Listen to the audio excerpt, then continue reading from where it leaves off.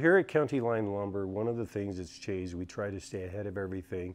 Fasteners have really come a long way. Because of that, we have brought in the whole new GRK line, both in the concrete screws, the RSS structural screws, and basically all of the other attaching screws that go from the finish head to the cabinet screws to the R4s, which pretty much basically is known as a deck screw.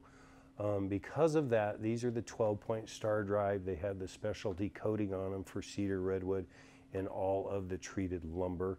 So we here would have pretty much every fastener that you would need for today's new deck and pergola projects at County Line Lumber.